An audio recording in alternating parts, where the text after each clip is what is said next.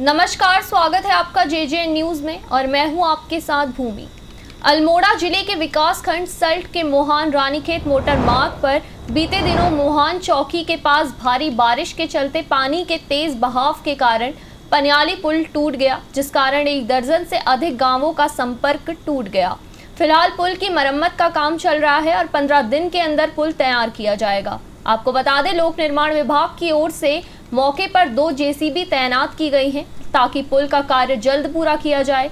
फ़िलहाल स्थानीय ग्रामीण जान हथेली में रखकर गधेरा पार करने को मजबूर हैं और ऐसे में स्थानीय ग्रामीणों का कहना है कि पनियाली पुल टूट जाने के कारण पैदल सफ़र तय करना पड़ रहा है।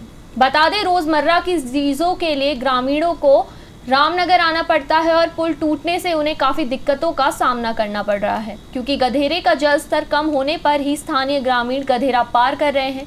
लेकिन जब जल स्तर बड़ा होता है तो ग्रामीणों को गधेरा पार करने में दिक्कतों का सामना करना पड़ रहा है। बहरहाल, रामनगर से रानीखेत जाने वाले मार्ग को डाइवर्ट किया गया है। आना जाना बंद हो गया, बारिश आ रही है, नाले में लोग आने जाने को डर रहे हैं। ना मजदूरी रोजी रोटी मजदूरी के लिए आदमी फैक्ट्री में जाने के लोग हो रहा है, नदी आ गई है। राशन पानी नहीं है, लोग बीमार हो रहे हैं तो उनको ले जाने की सुविधा नहीं है। वो टूटा हुआ है। कोई नदी पार कैसे रिक्शे कर रहे हैं वो, उधर से इनकार प्रशासन भी इनकार कर रहा है कि नदी पानी में मत आइएगा मत आइएगा, बह जाएँगे तो आदमी क्या करेगा? कुछ सोचना दीजिए आगे, कुछ काम का होना चाहिए, राज्य से कहीं सेवा मिलनी चाहिए, जेम से आप एस साहब से कह के कुछ होना चाहिए। चार पाँच गाँव पड़े हुए हैं, लोग घर से बाहर नहीं निकलने डर के मारे। रास्ते में टाइगर का भय होता है, हाथियाँ होते हैं, अकेले आदमी कैसे जंगल में पार करेगा? बहुत परेशानी है, सर। वन विभाग से हो सके तो कहीं से पैदल रास्ता भी निकल जाए तो आदमी को काफ़ी सुविधा मिलेगी। आने जाने के समय मिलेगा। तो लोगों का दुख दर्द दूर होगा। राशन पानी सब रामनगर अटैच होते मार्केट, यहाँ पर कोई लोकल मार्केट भी नहीं है। मेन मुहान था, मुहान ही जाना बंद हो गया लोगों का। गाँव से हैं कुनखेत गाँव है हमारा, उधर से हम कुमरिया होते हैं, जो मेन हाईवे है हमारा कुमरिया है। मार्च करके आए हैं हम, पैदल पैदल उधर हमको सात, आठ किलोमीटर का एरिया है ये कुमेरे से महान तक का। पैदल मार्च करके आए। तो वहाँ पर रास्ते में हमको हाथी मिला और बाघ ने दहाड़ मारी तो बहुत डर लग डर डरते डरते भागते भूगते आए।